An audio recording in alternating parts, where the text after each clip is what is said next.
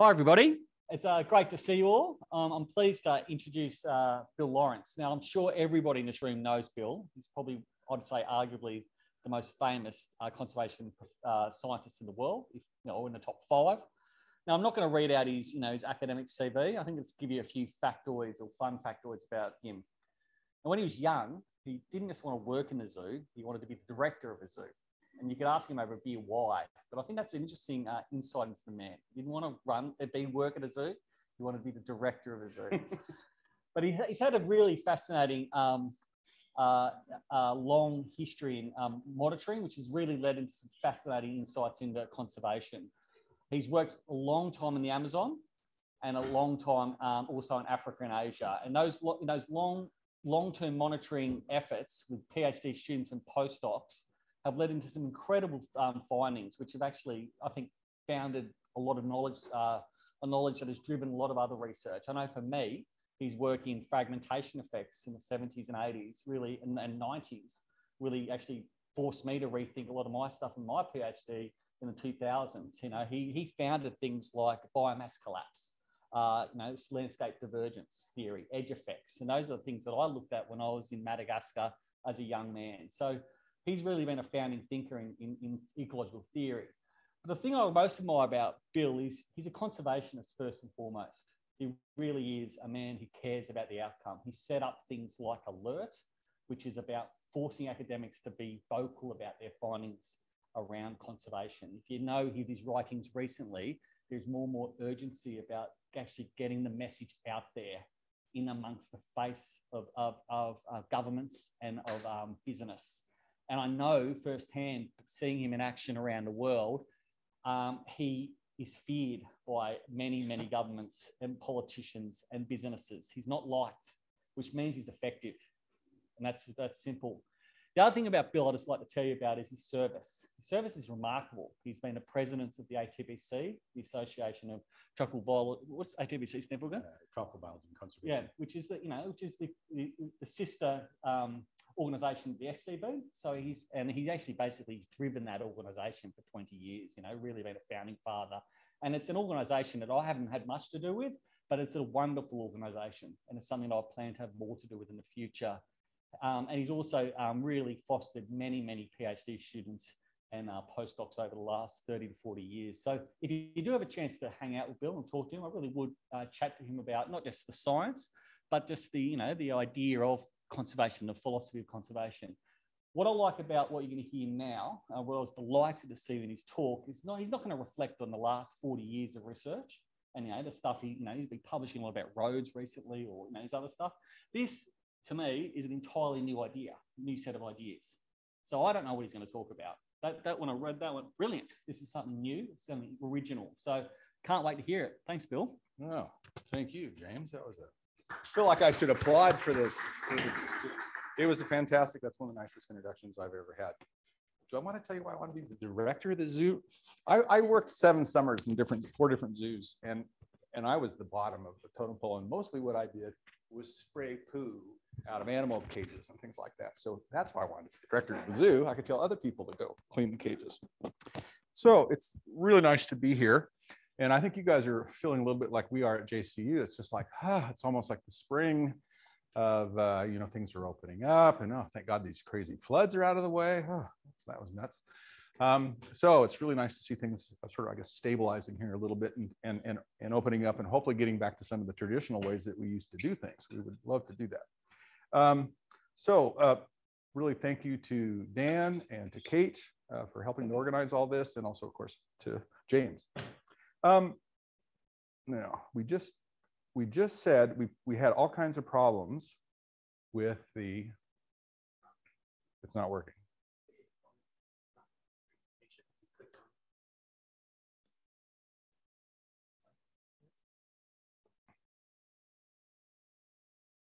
No, if you press right, they'll go. All right, so that's the first slide. Okay, great. All right. So I've given this talk a couple times. I gave it most recently at JCU, and I was a little unhappy with the reaction. I mean, so many people said, "Oh, it's pretty interesting and all that," but ah, oh, it was so depressing. And I, that's not what I want to do. You know, that's not what we want to do. We want to empower people and activate people and that type of thing.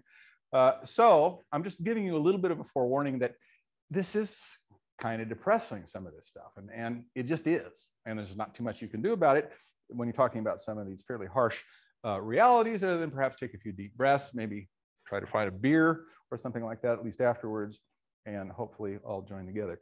Now, as you well know, humans are changing the planet in incredible myriad ways uh, simultaneously. We're disrupting and fragmenting and, and, and altering habitats.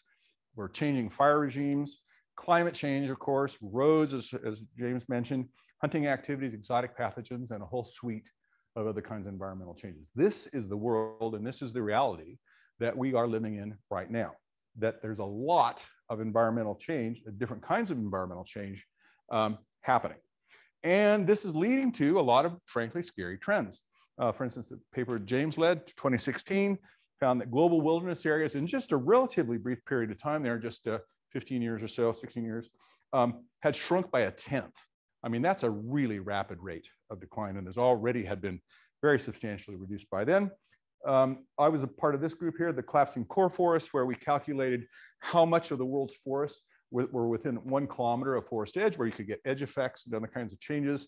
And we found about 70%. So most of the forest now, you know, two thirds of the forest, three quarters of the forest are fragmented or disrupted in some way in which there's lots of forest edges around. Uh, this is work led by one of my postdocs, Sean Sloan.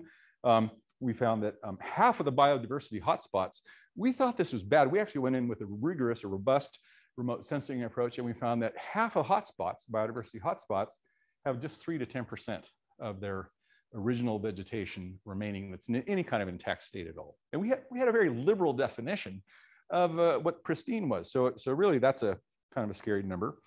Um, this is a modeling, the Taubert et al. study is a modeling study in which they looked at how tropical forests are changing as a result of prevailing trends. And what they basically found is that almost all of the world's tropical areas are what we're ending up with are systems that are much more fragmented, have many, many more fragments, many more small fragments, and that the whole size distributions of fragments are shifting into smaller sizes. And it's a very strong trend statistically. So that's why that was published in Nature. And then, of course, the human footprint. This is work led by uh, Oscar Venter when he was a postdoc in my lab. And of course, Oscar got his PhD here in affiliation with you guys. Uh, and just looked at the human footprint and, and found excuse me, that the tropics and arable lands were declining the fastest. Pardon me. Now, um, I want to talk about the environmental synergisms right now. I've actually listed this as environmental synergies. I had a paper I submitted and a person who was British was rather snooty and he said, oh, I'm, I'm, by the way, I'm more Australian than I am American anymore, but he said, you Americans always have to make up new words, environmental synergisms. It should be environmental synergies. I don't know where the guy got that attitude. He's like British guy acts like he invented the English language. Um, anyway, so a typical traditional definition of an environmental synergism, and there's certain fields of science where these have been studied, are things like environmental toxicology. And people might find, you know, compound A causes a certain amount of distress and mortality in, in a species of fish, let's say. Compound B causes some more, but when you have the two together, it causes even more than that. There's an amplification effect. And there's just an example here, Rubin et al., very recent paper, found that microplastics, which of course all the plastics that we're dumping into the seas and other places are oftentimes ending up as microplastics. They break down to a certain degree, um, and then they very oftentimes get uh, infiltrated uh, with organic compounds and other kinds of toxins. And they found that with various kinds of pollutants, including uh, pesticides, that they're getting about a tenfold, up to a tenfold increase in lethality. So that's the traditional way that people talked about synergisms. That's just a, an art piece there that one of our artists, that's on the Cairns campus there. So we have this plastic embryo. I, I find it a little, I don't know, it's a bit much, but anyway, that's bigger than you think. So it's over, over five meters wide. And that, and to make that, uh, Robin Wright, um, you know, collected a thousand plastic bottles from the Great Barrier Reef. Okay, so that's the, what I just mentioned is the traditional definition. Uh, we've tended to use, or I've tended to use, a sort of a more simple and relaxed definition because you know those technical kinds of um, highly specified studies they're dealing with systems in which you can really precisely, you can manipulate the system and you can precisely change concentrations of different compounds. Dealing with some of the real world landscapes that we talk about in regions, um, you just can't do that. So we've had a much sort of simpler idea is that basically what we're calling a synergism is just if two things are happening and if something bad results from it, that that's a synergism, okay? And so I've just sort of called this the environmental splat uh, thing. So, so basically, now, when, because of that issue, I actually thought we would have problem publishing some of our work. And in fact, we haven't found that at all. We've just used this loose, relaxed definition of synergisms, and it hasn't been a problem at all uh, to publish in various journals. So what I'm going to do is talk about, I think, four environmental synergisms, partly in response to my friends and colleagues in Cairns who said that the talk was highly depressing. I've actually reduced this by about a third. So you should be a third less uh, depressed at the end. We shall see. Okay, this is, um, have to talk about roads, of course, and hunting often goes hand in hand with roads. This chap right here, by the way, this is in uh, Republic of Congo. We ran into him. There was a newly constructed Chinese funded road right through one of the largest national parks in the Southern Republic of Congo. And here was this guy in there hunting. And what he was doing, those are mustache monkeys and he was shooting them and then selling them to drivers as they go by for bushmeat. And it's just, you know, that was something we got, we got out. We, I thought also, by the way, have a look at his shirt. The shirt says Chinese Congo friendship, I guess. So anyway, we got out and we talked to him a little bit. And I, I, I thought about maybe trying to buy the monkeys from him and I offered him a really low price. Um, and then he just, basically, I was just kind of trying to be a little bit obnoxious and, and because I wasn't too impressed with what he was doing very much poaching.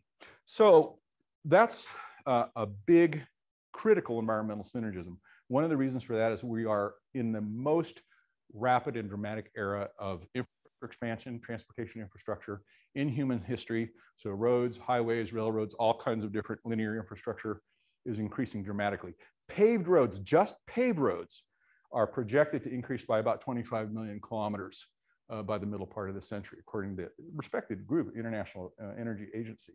So, and that's enough to go around the world more than 600 times. So we are living in this incredible era of road expansion. And as I look around the room and see different people here, I know some people are living in countries where there's amazing amounts of proliferation of road activity right now. And another thing that's interacting with the roads is that there's been a fundamental change, as you, as you well know, in hunting technologies. So instead of traditional spears and bows and arrows and darts and things like that, and, and snares made out of uh, vines. Now what you see, and I don't know how many people, how many people have been to Central Africa? Yeah, you've been, okay. Well, one thing you see is a lot of automatic weapons. You know that, like you really see lots of people with automatic weapons. So that's really proliferated there. The snares here, you can see wire, wire and cable snares are just ubiquitous now in much of the developing world because cable and wire is just so cheap. It's just found everywhere. And so this, by the way, is the result of, I think it's two or three hours of searching within a Cambodian protected area. Sorry, this, oops, now what have I done? How do I help? Sorry.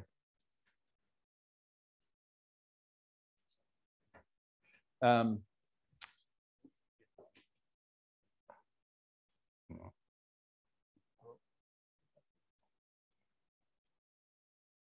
Need to click on it.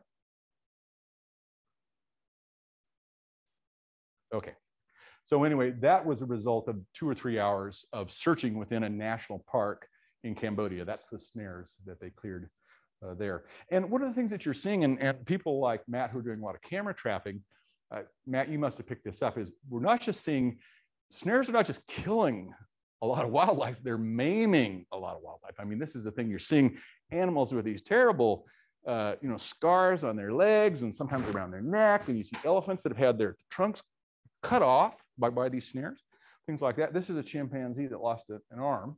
Pretty intelligent animal. Imagine it. I'd be interested to know what the chimpanzee is thinking about all that. Anyway, so just as an example of this sort of carry on this idea of the synergism between roads and, and hunting, this is the Congo Basin, of course. And as you all know, it's the second largest area of tropical rainforest in the world. I grew up thinking of this as like one of the world's great wild areas, reading things like Joseph Conrad's Heart of Darkness and things like that. But if you look at the Congo today, what you see is that there's in fact a lot of roads there. If it's a wilderness, it's a very heavily eroded wilderness. And even if you zoom in in places like that, where it doesn't appear that there's many roads and you use high resolution methods, what you see is in fact, there's a lot of smaller logging roads ramifying all through the forest. So this was a very interesting study that was done by James Blake, a large scale study with lots of people involved. And what they've done here is they've looked in uh, across equatorial Africa and they've looked at the distances from major roads and they've measured both elephant densities and, and human signs. So, excuse me. So as you can see here, as you get closer and closer to roads, maybe, I don't know, 15 to 20 kilometers, you're getting this big increase in hunting activity. And this would be based on things like hunting camps, machete marks, shotgun shells, footprint, boot prints, things like that, the signs that poachers leave. So you see that big increase near roads. And then look at what's happening to the elephant densities here. These are forest elephants. Um, look at that, they're really dropping down, roughly and pretty much in, in concert uh, with that. So I think that's a fairly uh, compelling data set there. And what they then did is they looked, they used those spatial data and they laid them on top of the existing road network at the time. And they uh, asked where is suitable habitat where elephants can still survive um, places that are free of hunting or with very limited hunting and that are remote enough. And by the way, this is the Northern Republic of Congo right here. You can see here, this is regarded as one of the most important refugial areas for survival of not just elephants, but big wildlife, hunting sensitive wildlife. Well, the Chinese, sorry, I shouldn't be too, but anyway, the Chinese, uh, through the Belt and Road Initiative, funded a major logging road through here all the way up to the capital of Central African Republic. And that's a massive road. It's not just like a track, it's like a five lane dirt track, very heavily graded and all that. And as soon as that happened, guess what started going on inside the national park there? So this is inside a national park. And the, evidently poachers had come in uh, from, from the road and killed the elephant there. We found uh, a skeleton. And we're dead certain that it was killed by poachers because we looked at its face and its face had been chopped off. The, the poachers shoot the elephant or, or, snare it, and then they chop off the front of the face in order to extract the, the ivory uh, uh, tusks, which of course are very valuable. So roads really do seem to have a, a tremendous um, important and pretty stunning impact. Okay, a second synergism deforestation disrupts rainfall, so, or precipitation more broadly. Um, yeah, I think one of the conclusions coming out of a lot of work is that when you're getting changes in forest cover, disruption of forests, you're very often changing the physical land surface in substantial ways that's having, can have a variety of different kinds of effects. So I want to mention a very interesting concept here by Ronnie Avissar at Duke. And um, what Ronnie has argued and hypothesized, and I think that there's an increasing amount of both uh, empirical and also theoretical modeling evidence to support it. Here's what he says. Oh, sorry. Um, if you, here's some, the yellow line we can see is a, is a linear decline in rainfall as deforestation increases. Now, the reason, of course, that would could occur I think as everybody knows, is forests give off um, a lot of evapotranspiration. They give off a lot of water vapor, and that water vapor is really important in terms of maintaining cloud cover and therefore reflecting a lot of heat back into outer space from these very high equatorial regions, and also uh, in terms of maintaining dry season rainfall. So these are areas where you don't have synoptic changes. Um, you just have the inherent vapor coming off of the forest, and that's crucial for helping forests to survive the dry season and not burn. And they get very, they can get very vulnerable to burning. Anyway, Ronnie said this. He said, look, he doesn't believe that there's a linear decline in, in rainfall as you, as you deforest. He also doesn't believe that like this blue line here, that you get a sudden collapse in rainfall and then, and then it levels out.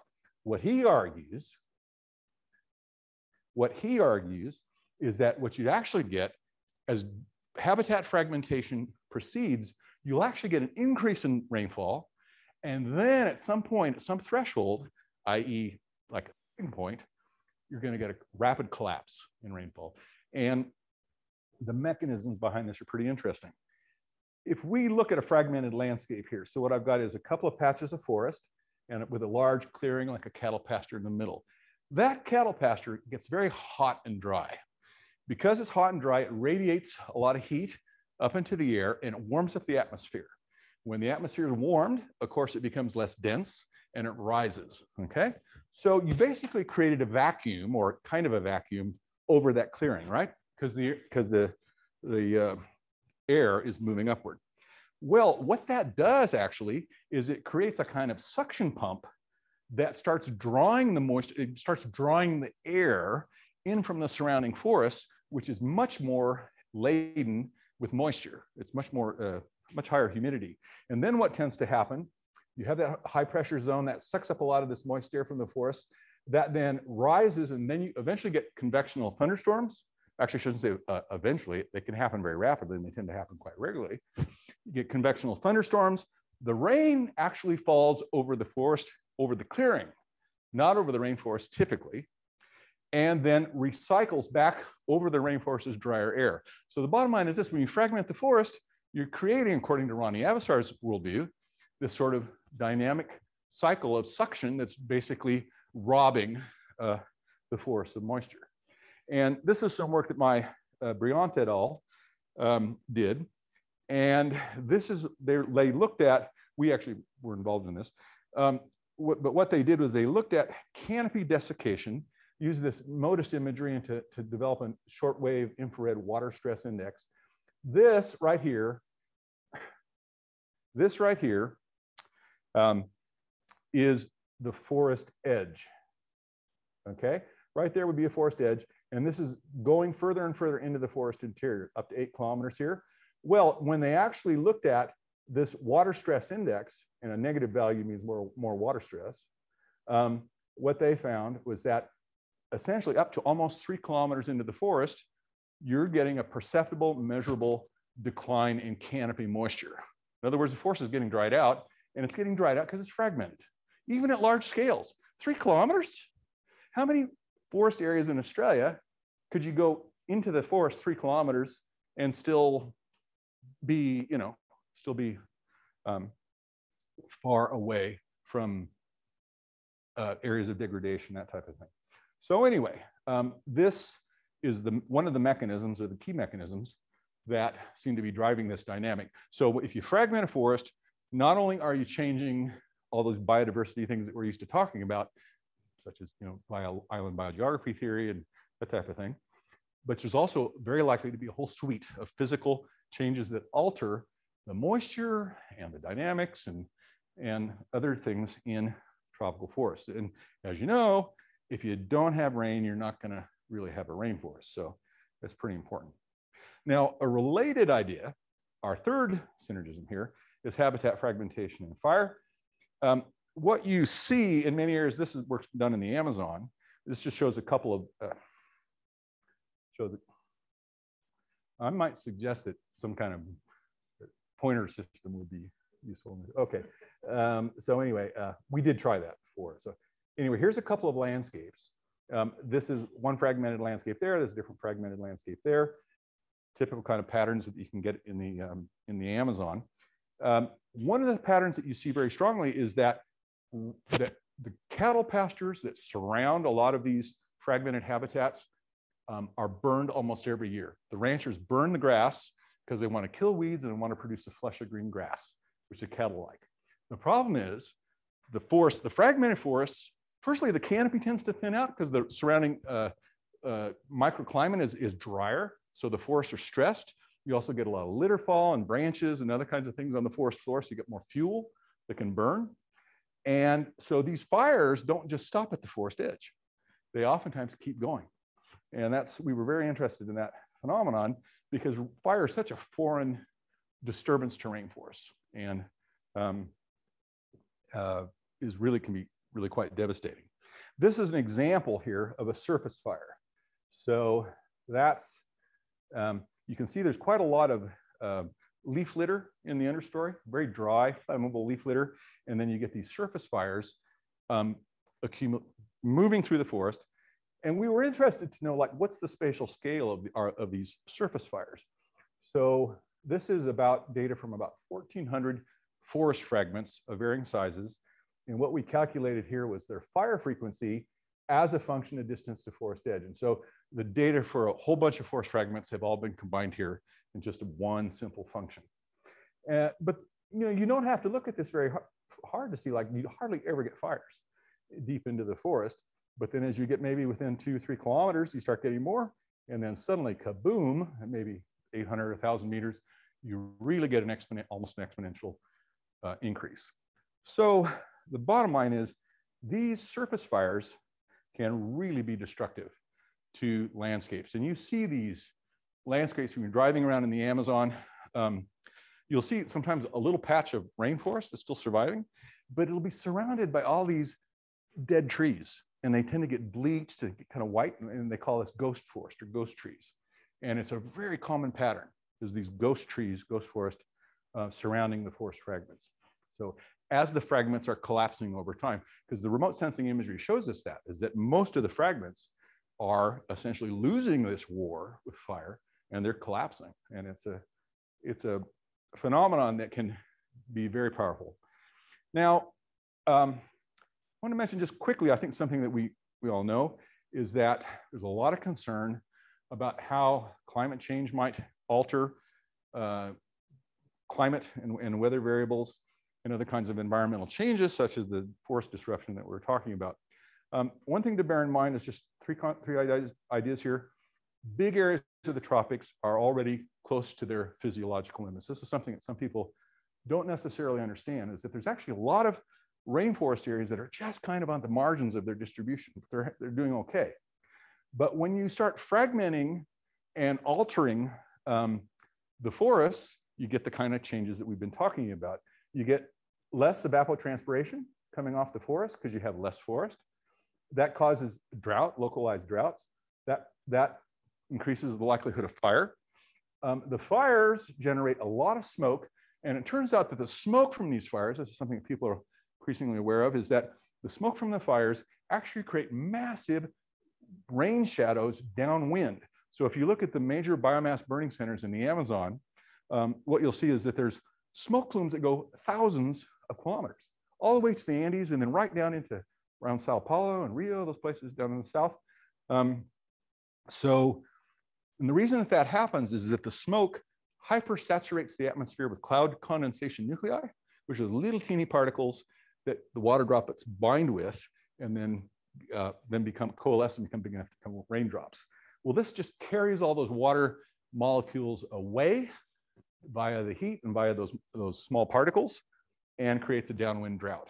So there's this exacerbation of things going on, multiplication of threats. And then the other thing is, wow, the numbers of ignition sources now are just, I mean, traditional fires in a place like the Amazon would have been really rare.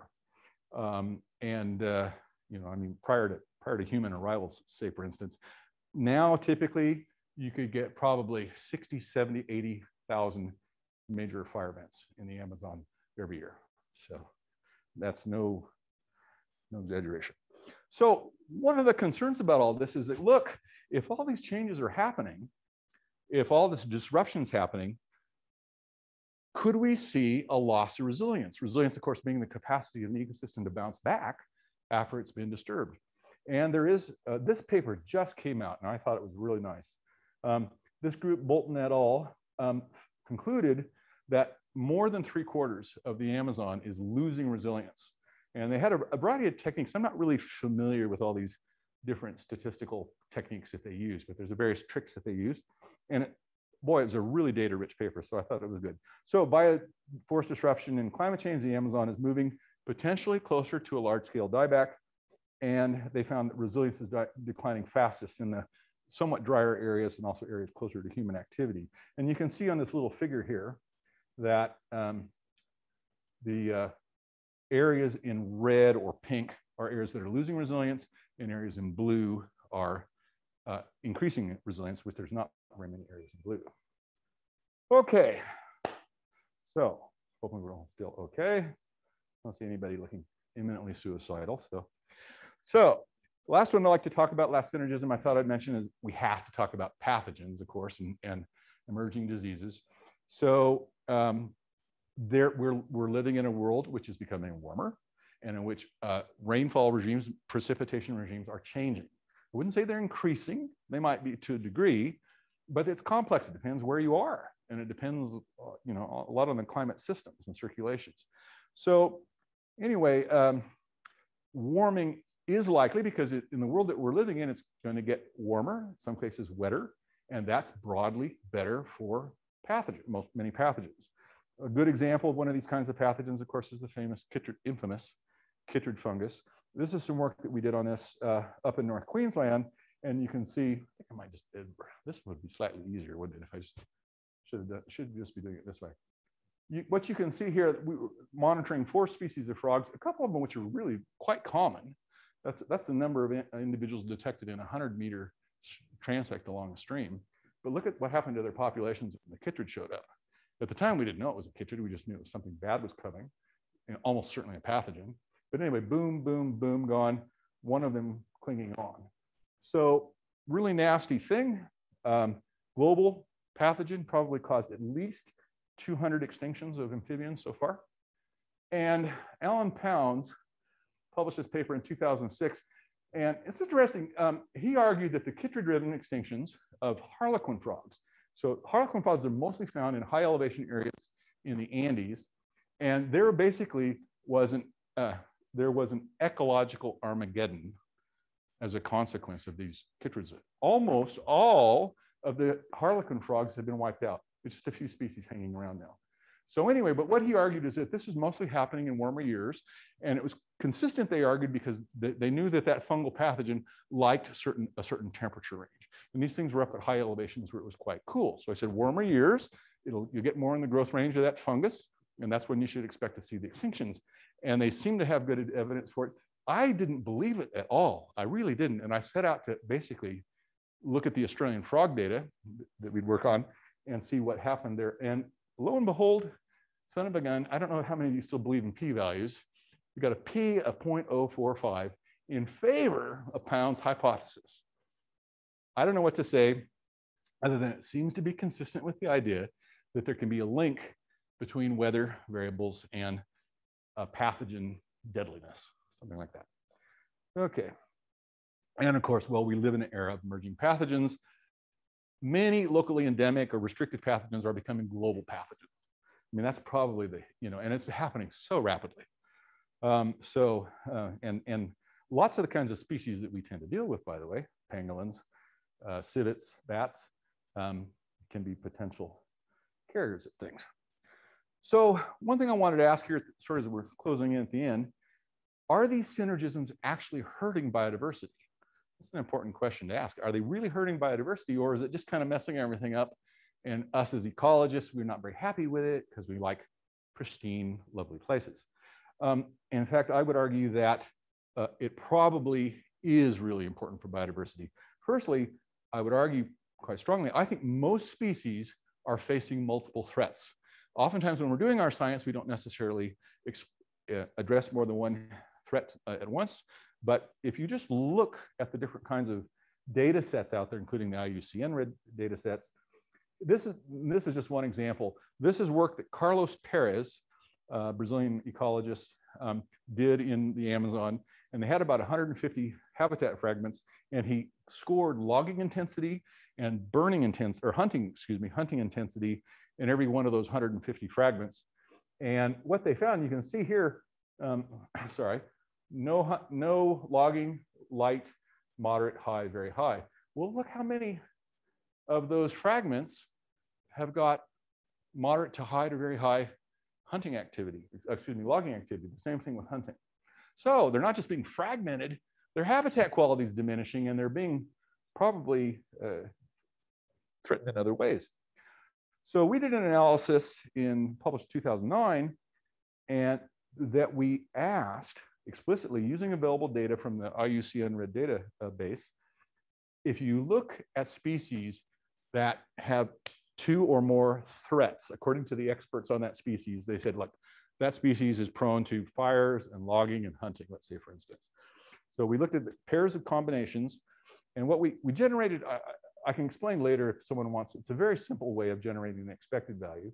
And then we actually looked at the actual incidence of species that were harmed by that synergism. So for instance, agriculture and hunting turned out to be the most important. The expected value was here, which would have been about what, 3%, 2%, and then look at what we actually observed. And this, I've only showed a few of these synergisms right here. There's a whole big list of them. And we looked at mammals, birds, and amphibians. And every single group was just kind of off the charts in terms of statistical significance and all that.